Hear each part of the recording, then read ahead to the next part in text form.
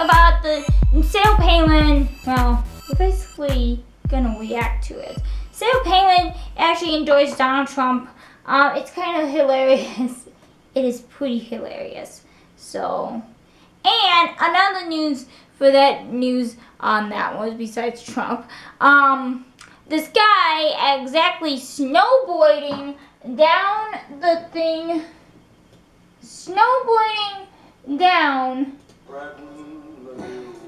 with a Jeep, a Jeep car down New York City streets.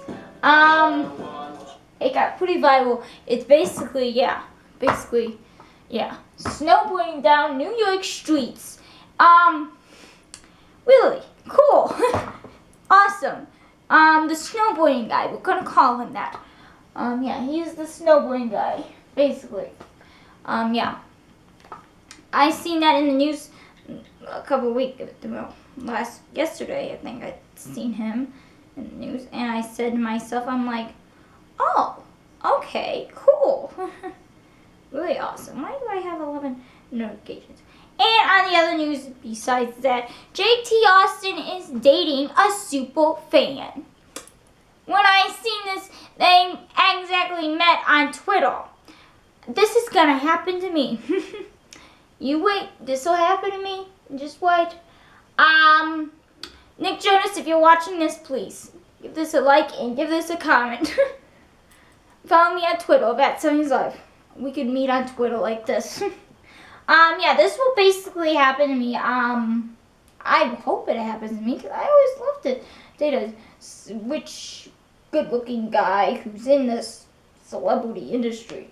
Um, yeah. Yeah, that is what I think about that.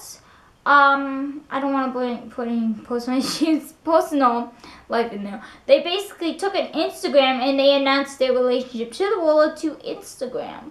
Um, apparently her name is I think I think it said in the news Daniel Danielle Danielle I think it said yeah it basically said in the news um, they actually met on Twitter after six years he actually followed her back and tweeted to her and they hooked up and they just now they are together so yeah I hope that happens to me with Nick Jonas I hope so Oh, here it is. Okay, it's basically a whole. I don't want a copyright strike. Oh, this is not copyright. Yeah, I seen this and I said this is hilarious. They actually did this video. You ready for? They actually did this video on Saturday Night Live, and Tina Fey basically was Sarah Palin, and I don't know who was Donald Trump, but I think, I don't know who it was, but whoever it was, they pulled off a really great spoof about this. Um, yeah, I thought, I thought it was good and hilarious, both. so yeah, check that out if you have not checked that out. And um, yes, yes, I am voting for Trump because I think he would make a great president. He's businessman. We need a business leader in this country. So yeah, we basically need someone like him. He's a billionaire.